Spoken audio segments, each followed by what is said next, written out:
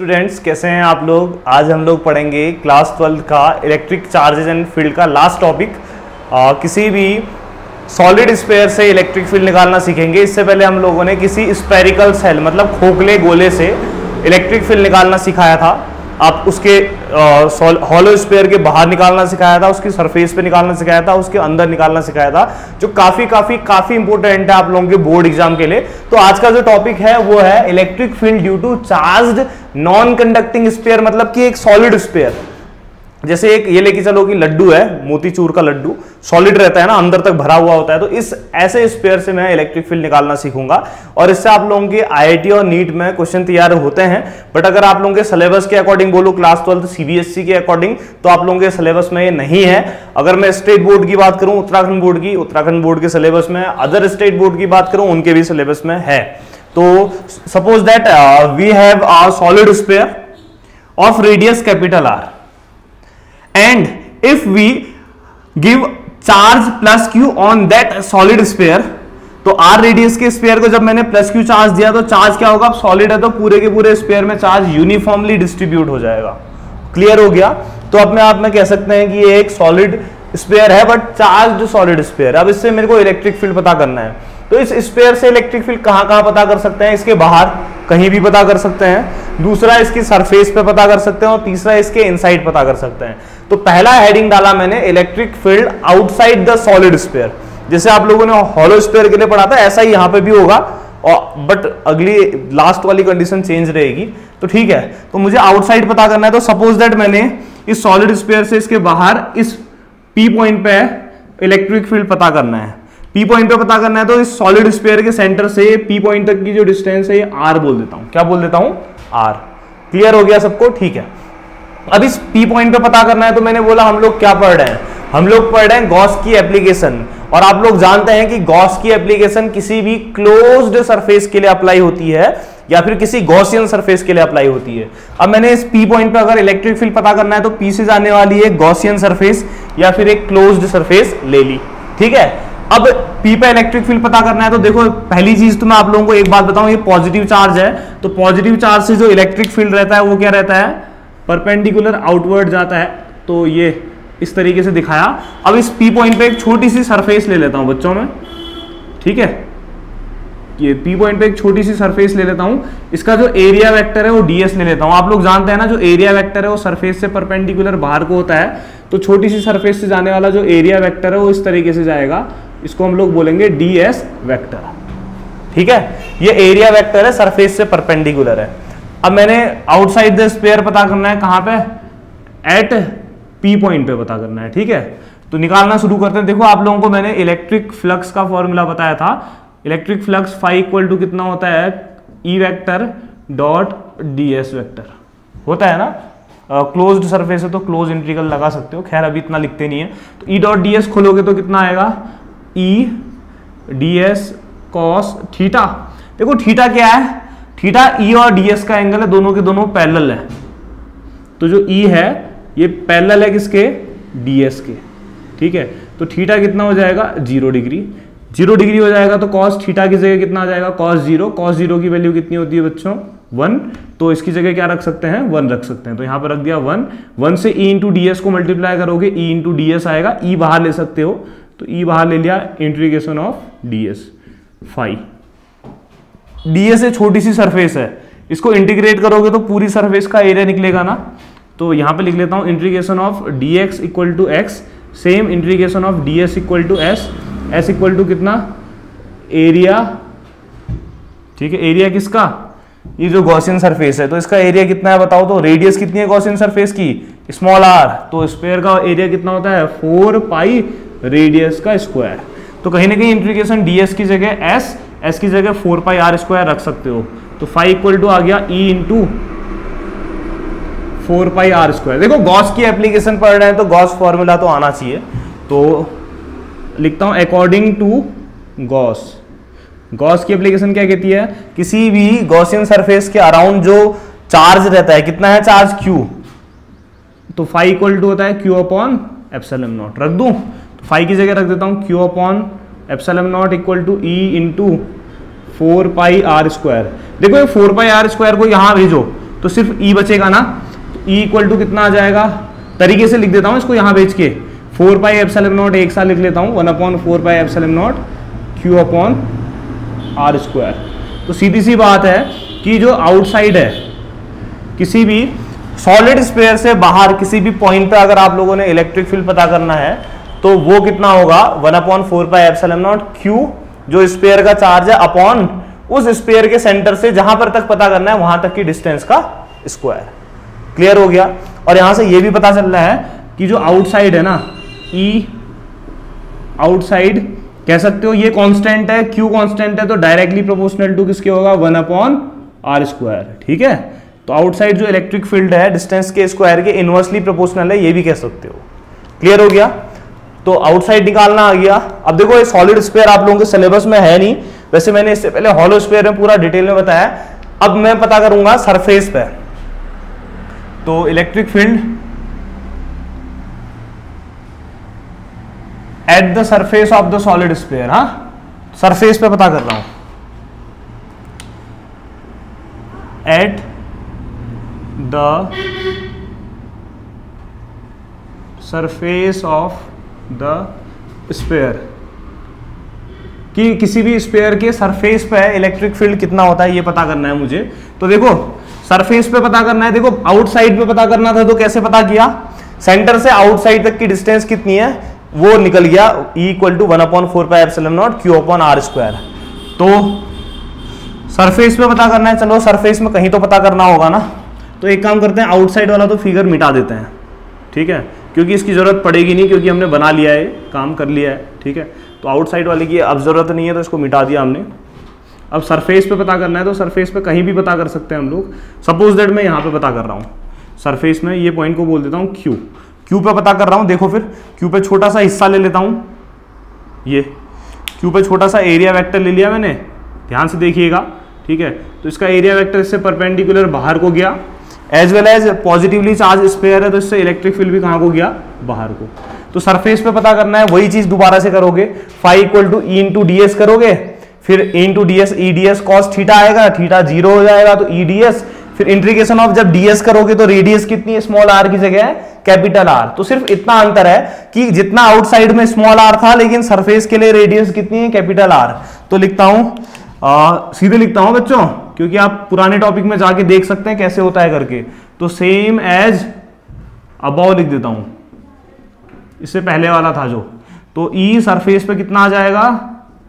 Surface पे आ जाएगा one upon four pi M naught Q upon देखो सरफेस तक की डिस्टेंस कितनी है? कैपिटल आर है। बस इतना अंतर आएगा कि स्मॉल आर के बदले कितना आ जाएगा? कैपिटल आर तो किसी भी सॉलिड स्पेयर की सरफेस पे जो इलेक्ट्रिक फ़ील्ड है, वो होता है one upon four pi M naught Q upon capital R square ठीक है? अब सबसे इंपॉर्टेंट है इनसाइड बहुत इंपॉर्टेंट है इस टॉपिक में, ठीक है? तो ये इसी के लिए ये टॉपिक मैंने पढ़ाया, क्योंकि सरफेस और आउटसाइड तो आप लोग निकाल सकते थे। अब इनसाइड में इंपॉर्टेंट क्यों है, वो भी बताएँगे। तो तीसरा पार्ट हा electric field inside the solid sphere inside पे पता करना है। तो फिगर मिटाते हैं। कहीं पे तो पता करना होगा ना।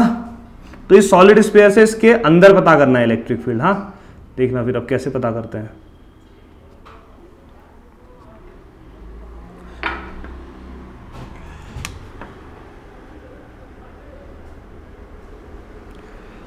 आ, ये एक मेरा सॉलिड स्पेयर है जिसकी रेडियस आर है। मुझे इसके अंदर यहाँ पे पता करना है। देखो बच्चों ये यहाँ पे पता करना है।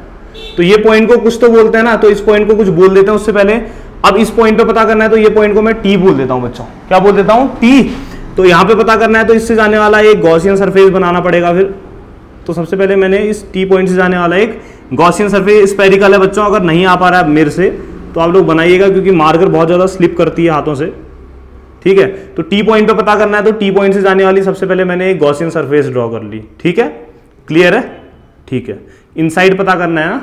तो कहाँ पे पता करना है? टी पॉइंट पे तो एट टी बोल देता हूँ हाँ। अब आपसे एक क्वेश्चन पूछता हूँ। अच्छा टी पॉइंट पे पता करना है तो ये लिख दिया। अब टी पॉइंट तक की कुछ तो डिस्टेंस होती होगी ना। तो सपोज़ दैट मैंने किया, ये टी पॉइंट तक की जो डिस्टेंस है, इसको एक्स ले लेता हूँ। क्या ले लेता हूँ? एक्स और जो स्पेयर है, इसकी रेडियस क्या ली है मैंने? कैपिटल आर ली है, ठीक है? तो स्पेयर की रेडियस कैपिटल आर और आज मैंने इसके अंदर टी पॉइंट पे पता करना है तो उससे जाने वाला एक गॉसियन सरफेस ले लिया जिसकी रेडियस कितनी है? एक्स है। यहाँ तक कोई दिक्कत नहीं होनी चाहिए। अब आप लोगों से एक क्वेश्चन पूछता हूँ। आ, ये एक पूरा का पूरा पिज्जा है। इस पिज्जा में से आप लोगों ने अगर इतना हिस्सा खा दिया है पिज्जा उतना था पूरा का पूरा। अगर इस पिज्जा में से आप लोगों ने इतना हिस्सा खा दिया है तो बताओ अब आपके पास कितना हिस्सा बचेगा? सिर्फ़ आपके पास इतना हिस्सा ही तो बचेगा। आया समझ में इसका मतलब क्या कहना चाह रहा हूँ, सुनो। ये बड़े से स्पेयर का चार्ज क्यू है? कि बड़े से स्पेयर का चार्ज क्यू है? जब आप इसके अंदर टी पॉइंट पे जाओगे तो टी पॉइंट से बनने वाला स्पेयर सिर्फ़ इतना ही तो होगा। तो इस टी पॉइंट से बनने वाले स्पेयर का चार्ज कितना हो जाएगा? बदल जाएगा नहीं बदल जाएगा? तो क्यू डैश हो जाएगा। और एक बात ध्यान रखना कि क्यू डैश की वैल्यू लेस देन होगी क्यू? वही चीज़ है, एक बड़ा सा पिज्जा था। उस पिज्जा को खा खा के मैं यहाँ पहुँच गया तो मेरे लिए सिर्फ़ इतना पिज्जा बचा। तो पिज्जा का साइज़ क्या हो गया? कम हो गया ना? तो ये पिज्जा का साइज़ अगर क्यू था, खा खा के जब इतना बचा तो इसका साइज़ क्या हो जाएगा? क्यू डैश और नए पिज्जा का साइज़ ओरिजिनल पिज्जा से क्या होगा? कम। तो ऐसा ही स्पेयर के केस में भी है कि स्पेयर के अंदर अगर टी पॉइंट पे आए तो टी पॉइंट से बनने वाला जो एक्स रेडियस का स्पेयर है, इसका जो चार्ज होगा ना, क्योंकि सॉलिड स्पेयर है चार्ज तो पूरे के अंदर होगा तो इतने हिस्से का चार्ज पूरे सॉलिड स्पेयर के चार्ज से थोड़ा सा क्या होगा? कम। तो क्यू डेस लेस देन क्या लिखा? क्यू और क्यू डेस किसका चार्ज है? एक्स रेडियस के स्पेयर का इतना आप लोगों को आना चाहिए, ठीक है? तो अब करना शुरू करते हैं फिर काम हाँ? तो ये जो टी पॉइंट से जो स्पेयर दिख रहा है ना, इसका एक छोटा सा हिस्सा ले लेता हूँ, देखो बच्चों, ये। दोबारा से हुई तो इसका जो एरिया वेक्टर है इससे परपेंडिकुलर बाहर को जाएगा, और पॉजिटिव चार्ज है तो जो इलेक्ट्रिक फ़ील्ड है वो भी कहाँ को जाएगा? बाहर को जाएगा। तो थीटी, थीटा कितना आएगा? ज़ीरो। तो सिंस लिखते हैं फाइव इक्वल टू कितना होता है? Integration of E vector dot कितना होता है? डी एस वैक्टर ओपन कर लेते हैं। तो फाइव इक्वल टू कितना आ जाएगा? Integration of E D S cos theta कितना होगा बताओ? ई e और डी एस क्या है? पैरेलल है। तो ई e वेक्टर अगर पैरेलल होता है किसके? डीएस के तो थीटा कितना होता है बच्चों? ज़ीरो तो कॉस कितना आ जाएगा? ज़ीरो कॉस ज़ीरो की वैल्यू क्या होती है? वन तो फाइव इक्वल टू कितना आ जाएगा? इंट्रीगेशन ऑफ़ ई डीएस तो यहाँ से फाइव इक्वल टू कितना आ जाएगा? ई e कॉन्स्टेंट है यूनिफॉर्म इलेक्ट्रिक फ़ील्ड बाहर। इंट्रीगेशन ऑफ़ डीएस तो बताओ इंट्रीगेशन ऑफ़ डीएस कितना हो जाएगा? एस आज बताओ डीएस क्या है? अंदर वाले स्पेयर का छोटा सा हिस्सा हाँ? तो इस छोटे से हिस्से को अगर इंटीग्रेट करोगे तो पूरे के पूरे छोटे स्पेयर का एरिया आएगा। तो एस क्या है? एरिया ऑफ़ स्मॉल स्पेयर और बताओ इस स्मॉल स्पेयर का एरिया कितना है? बताओ जरा। फोर पाई रेडियस कितनी है इसकी? एक्स ली है मैंने, बच्चों। तो एक्स स्क्वायर आएगा, ठीक है? तो फोर पाई कितना आएगा? एक्स स्क्वायर तो यहाँ से आ जाएगा phi equal to E into four pi X square इसको इक्वेशन नंबर बोल देते हैं वन अब मैं बताता हूँ कि फाइव की वैल्यू कितनी होती है। फाइव कौन सा फ्लक्स है बताओ? इस अंदर वाले हिस्से से जाने वाला तो फाइव इक्वल टू कितना होता है? क्यू अपॉन कितना होता है? एप्सलम नोट सबको पता है ना? लेकिन ना बताओ जब मैं टी पॉइंट पे पहुंचाऊं तो मेरा सिर्फ़ इतना स्पेयर बचा है। और इतने स्पेयर का चार्ज क्यू है या क्यू डैश है? क्यू डैश है। तो क्यों नहीं लिखोगे इसको आज? क्या लिखोगे? क्यू डैश क्यू डैश मतलब जो इतना छोटा सा स्पेयर है उसका चार्ज तो रख दू? तो ये आ जाएगा Q dash upon epsilon naught equal to E into four pi X square यहाँ पे ज़रूरत नहीं पड़ी इक्वेशन वन की, ठीक है? तो इतना किया, अब इसको थोड़ा सा ओपन करते हैं हाँ? ये इतना हिस्सा मिटा दिया मैंने बच्चों, क्योंकि आप लोग बैक जा सकते हो, है ना? ई e निकालते हैं यहाँ से। तो यहाँ से कितना आएगा फिर? ई इक्वल टू इसको इधर भेजोगे तो फोर पाई एफसल नॉट एक साथ ले लो। तो one upon four pi epsilon naught Q dash upon कितना आएगा? एक्स स्क्वायर तो एक्स तो चलो ठीक है, छोटे वाले स्पेयर की रेडियस का स्क्वायर है। लेकिन इसमें क्यू डैश क्या है बताओ तो? ये जो क्यू डैश है ना इसमें क्यू डैश है चार्ज ये छोटे से स्पेयर का। तो बच्चों, ये चार्ज तुम्हें पता होगा क्या? नहीं पता होगा। क्यूडेस आप लोगों को पता नहीं होगा, क्योंकि देखो ना, मैंने टी पॉइंट यहाँ लिया है तो कोई यहाँ लेगा तो उसका चार्ज अलग होगा ना। तो क्यूडेस पता नहीं है। तो जो चीज़ पता नहीं होती है, हम उसको पता करते हैं। तो यहाँ पे क्यूडेस पता नहीं है तो क्यूडेस को पता करते हैं। कैसे देखो? मैंने आप लोगों को एक फॉर्मूला बताया था पहले। Volume charge density rho equal to कितना होता है बताओ? चार्ज अपॉन कितना होता है? वॉल्यूम तो लिखता हूँ for small sphere of radius X तो एक्स रेडियस वाले स्पेयर के लिए कितना हो जाएगा? उसके लिए हो जाएगा rho equal to X radius के स्पेयर का चार्ज कितना है? क्यू डैश और एक्स रेडियस के स्पेयर का वॉल्यूम कितना होगा बताओ? स्पेयर का volume four by three pi R की जगह कितना आ जाएगा? एक्स का क्यूब तो यहाँ से क्यू डैश निकालो। क्यू डैश इक्वल टू आएगा rho into four by three pi X का क्यूब तो ये रख दें फिर। तो लिखता हूँ यूजिंग इसके बाद हाँ value of Q dash in equation one तो यूज़ करते हैं बच्चों, देखना तो ई इक्वल टू आ जाएगा one upon four pi epsilon naught ये क्यू डैश की जगह ये वैल्यू रखता हूँ, कितनी है? Rho into four by three pi X का क्यूब अपॉन एक्स स्क्वायर देखो एक्स स्क्वायर से एक्स क्यूब कितने time cancel X time cancel तो ई इक्वल टू कितना आएगा? देखो, अच्छे से लिखता हूँ हाँ। देख फोर से फोर कैंसिल पाई से पाई कैंसिल तो ये कितना आया? ये आया रो एक्स अपॉन कितना आया? थ्री रो एक्स अपॉन कितना आया? थ्री और साथ में एक एप्सलम नॉट भी बचा है। तो कहीं ना कहीं किसी भी सॉलिड स्पेयर के अंदर, किसी भी पॉइंट पर अगर आप लोगों ने इलेक्ट्रिक फ़ील्ड निकालना है ना तो उसका फॉर्मूला होता है one upon three epsilon naught rho उस सॉलिड स्पेयर की volume charge density into X क्या है? उसके सेंटर से जहाँ तक पता करना है टी पॉइंट तक पता करना है तो टी पॉइंट तक की डिस्टेंस अब क्या होता है कभी कभी रो की वैल्यू हमें पता नहीं होती है। तो रो की वैल्यू हमें पता नहीं होती है तो रो को इस, इसी इक्वेशन को दूसरे तरीके से लिखना सिखाता हूँ। तो तुम्हें पता है कि फॉर होल स्पेयर पूरे स्पेयर की बात करते हैं अगर। For whole sphere rho equal to कितना होता है बताओ। पूरे स्पेयर का चार्ज कितना है? क्यू और चार्ज अपॉन वॉल्यूम पूरे स्पेयर का वॉल्यूम कितना होगा? Four by three pi capital R है स्पेयर की रेडियस तो आएगा Q upon four by three pi R cube तो कहीं ना कहीं पूरा जो होल स्पेयर है, उसके लिए रो की वैल्यू इतनी होती है। तो ये वैल्यू कहाँ रख देता हूँ फिर? इक्वेशन टू में रख देता हूँ। तो using value of rho in equation two using value of rho in equation two खाली लिखने का तरीका है तो इनसाइड द सॉलिड स्पेयर या तो ये ले लो इनसाइड इतना होता है, या फिर रो की जगह ये वैल्यू रख सकते हो, कितनी?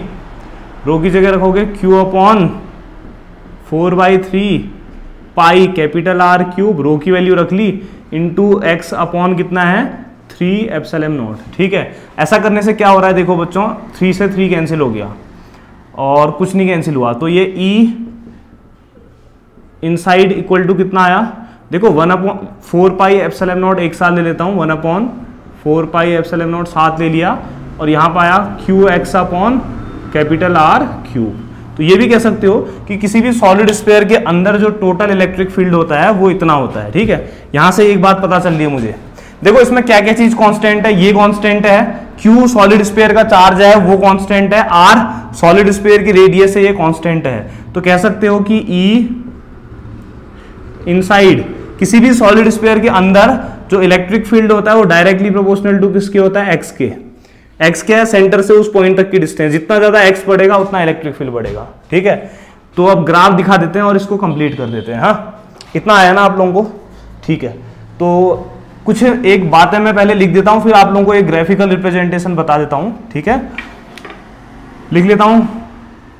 Graph between E and R distance के साथ कैसे इलेक्ट्रिक फ़ील्ड वेरी करता है सॉलिड स्पेयर के लिए ये चेक करते हैं हाँ।